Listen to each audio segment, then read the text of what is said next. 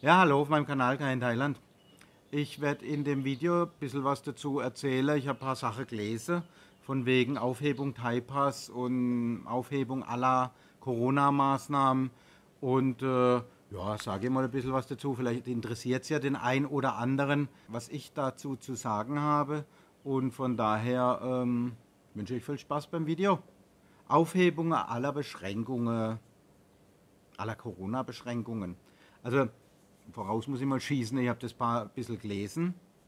Einige englischsprachige, deutschsprachige ist ja echt viel in Bewegung im Moment, was das angeht. Corona ist eigentlich gar kein großes Thema mehr hier, muss man auch wirklich sagen. Ähm, aber klar, Maßnahmen gibt es noch und jetzt äh, habe ich gelesen, dass am 17. Juni soll eine Eingabe sein und zwar äh, geht es darum, Thai-Pass abschaffen unter anderem. Das ist so ein Paket irgendwie, aber ich erzähle am besten eins nach dem anderen und der Thai-Pass abschaffen. Ich meine, für Thailänder, die nach Thailand zurückkehren, ist er ja schon weg, der Thai-Pass. Und darum soll es halt auch gehen, westliche Besucher, ausländische Besucher, dass die eben auch keinen Thai-Pass mehr brauchen. Und das äh, bin ich mal gespannt.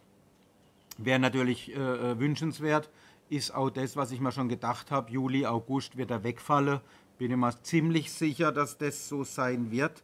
Ähm, da ja auch, ich meine, Thailand hat ein Fünftel seines Bruttoinlandsproduktes, äh, kommt ja aus dem Tourismus.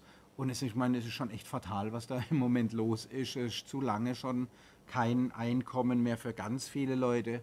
Also von daher, die Erleichterungen waren ja schon wirklich gut, jetzt muss man sagen. Aber das zurück auf die Maßnahme oder gar keine Maßnahme mehr, ähm, wie es vor Corona war. Das wäre natürlich wünschenswert und da machen sie jetzt relativ große Schritte. Ähm, und der eine ist natürlich der Thai-Pass abschaffen. Also von daher, das kann ich mir gut vorstellen, dass das tatsächlich kommt. Das war jetzt auch kein großes Thema mehr. Meine, man musste zwar das eingeben, hat es aber tatsächlich ja Minuten, Stunden Takt hat man es dann wieder äh, automatisiert zurückbekommen. Gar kein Thema und von daher war das ganz gut so. Also ich glaube, der kommt weg, das äh, bin ich wirklich fest davon überzeugt. Ja, was ich halt auch immer wieder gefragt werde, ist jetzt Maskenpflicht. Gibt es das noch in Thailand? Warum gibt es das noch?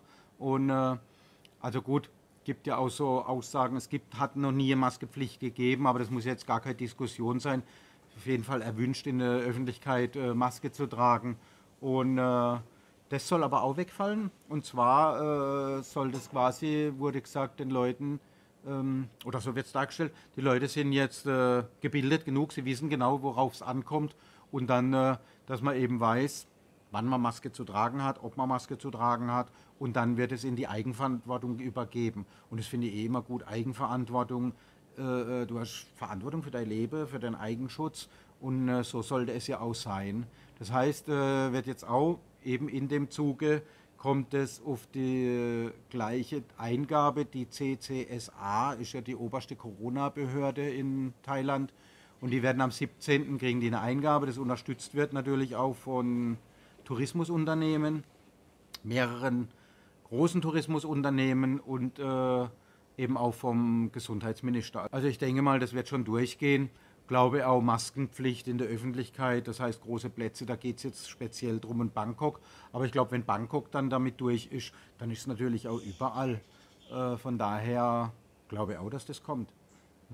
Bin ich mir ziemlich sicher, dass das kommt. Ob das dann Bestand hat jetzt für immer oder so, ähm, weiß ich natürlich nicht. Ich, ich arbeite quasi die Themen ab und am Ende vom Video werde ich dann mal sagen, was ich nicht glaube, was kommen wird. Also von daher äh, lasst euch mal überraschen, was ich davon halte. So, das nächste wäre jetzt Nachtleben. Ist auch mit eingegeben. Und jetzt in fast allen Bereichen, muss man ja sagen, gibt es ein Nachtleben wieder. Ähm, Bars sind eröffnet, kann am Abend weggehen, Musik hören oder es gibt auch verschiedene Konzerte, was ich ja auch schon auf meinem Kanal gehabt habe, gezeigt, äh, wie hier letztens ein Konzert war, Veranstaltungen am Strand oder wir waren auf einer Bikeweg in Krabi, Aonang. Und äh, das geht also auf alle Fälle wieder. Nur war die Sperrstunde halt jetzt, ich meine, das ist ja in Vergangenheit, war es ja dann auch so, dass tatsächlich, gab ja Alkoholausschenkverbot und dann ist auf 10 Uhr, dann ist sukzessive verlängert worden und jetzt sind wir so bei 12 Uhr angelangt. Ähm, das heißt 12 Uhr Sperrstunde, Alkoholausschank verboten und äh, ja, Und das soll jetzt auch wieder erweitert werden bis auf 2 Uhr in der Nacht, gerade in den touristischen Gebieten, was ja auch sehr angenehm wäre. Und ich glaube auch, dass es mit Sicherheit kommt. 2 ähm, Uhr in der Nacht, ich meine, macht ja auch, ja, ob das Sinn macht oder nicht. Also von 12 Uhr bis 2 Uhr äh, äh, die Infektionszahlen immens steigen, äh, glaube ich und nicht unbedingt. Also von daher denke ich, das wird auch kommen. Ähm, was auch witzig ist, ist Tourismusgebühr. Das gab es ja auch schon mal. Vor Jahren weiß ich, äh, 500 Baht hast du dann immer bei Ausreise äh, bezahlen müssen. Also immer noch mal 500 Baht in der Tasche äh, hat man dann bei Ausreise bezahlen müssen. Und äh, jetzt diskutieren sie ja schon längst drüber wieder diese 300 Baht Einreisegebühr, die dann auch für äh, in den Krankensektor mit aufgenommen werden soll. Und äh, das wurde ja immer wieder verschoben und es soll jetzt eben auch wieder verschoben werden. Das heißt, die Einreisegebühr, die hast du auch selber gar nicht gemerkt wahrscheinlich, weil die wurde in der Regel beim Ticket mit abgebucht als Flughafengebühr, in der Flughafengebühr oder soll sie abgebucht werden, sagen wir so. Und von daher merkt man es ja eigentlich gar nicht. Aber das wird jetzt aufgeschoben und wie lange auch immer, oder soll aufgeschoben werden, wie lange auch immer, das weiß ich natürlich auch nicht. Ähm, wird man mal abwarten, aber ich bin mir ziemlich, ziemlich sicher, dass sie irgendwann kommen wird. Ähm, das waren so mal die Themen, die, wo es dann heißt, alle Maßnahmen werden abgeschafft. Das heißt, äh, wie gesagt, Thai-Pass, der Nachweis über Impfung und so weiter oder über Tests ungeimpfte Personen einreisen. Und bei mir ist es jetzt im Moment so, ich denke, habe ich ja gesagt, das, was ich euch jetzt äh, abgearbeitet habe, das kommt auch, bin ich mir sicher. Aber alle Maßnahmen fallen, glaube ich nicht. Ich glaube eher, dass es so sein wird, und das bleibt Bestand, sicherlich für eine ganze Weile, ähm, wobei man damit aber leben kann, ähm, dass du tatsächlich bei Einreise entweder deinen Impfpass vorlegst oder ein negatives Testergebnis bei Einreise nach Thailand oder schon bei Abflug im Heimatland bei der, äh, am Flughafen. Und von daher, das denke ich, das wird noch Bestand haben. So werden sie es umswitchen. Statt Thai-Pass hast du einfach deine Papiere vorzulegen. Und äh, also von daher, alle Maßnahmen fallen, glaube ich, nicht so ganz schnell. Aber das wäre ja schon mal ein sehr großer Schritt zur Normalisierung. Und ich glaube, damit kann man dann auch ganz gut leben. Also ich könnte mit leben. Und wie es aussieht, wir haben auch sehr gute Buchungszahlen jetzt für die nächste Zeit in unsere Bungalow. Ich habe tatsächlich auch schon leider äh, Gästen absagen müssen, die auch schon ein paar Mal bei uns waren. Da wir halt nur fünf Bungalow haben, sind wir halt auch relativ schnell voll. Und, äh, und daher, wir haben jetzt zwar noch ein paar Zeiträume, die auf sind, aber die Tendenz ist echt gut.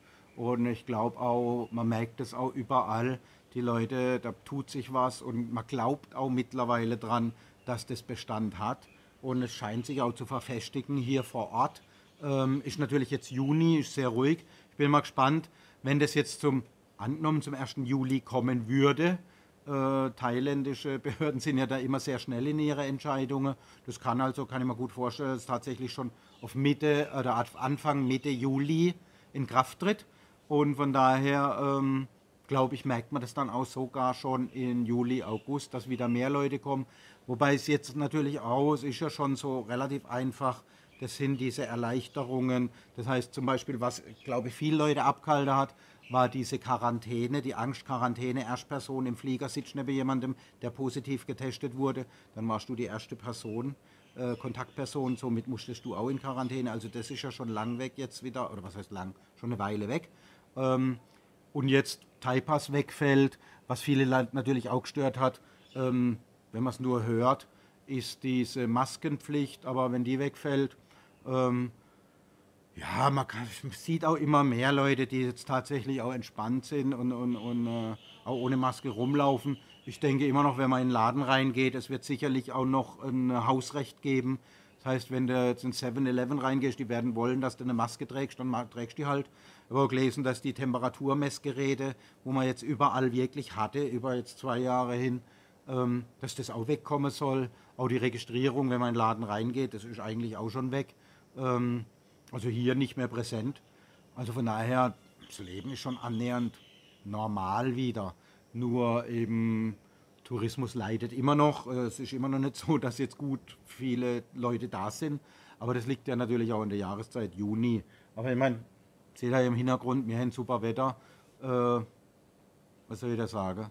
Ich finde es immer klasse. Ich sage auch immer, komm ruhig hierher. Ich meine, klar, bei zwei Wochen äh, Urlaub ist natürlich schwierig, äh, wenn man da jetzt ein paar Tage Regen mit drin hat. Aber es ist ja kein Gift, was da vom Himmel fällt, sondern es ist Wasser.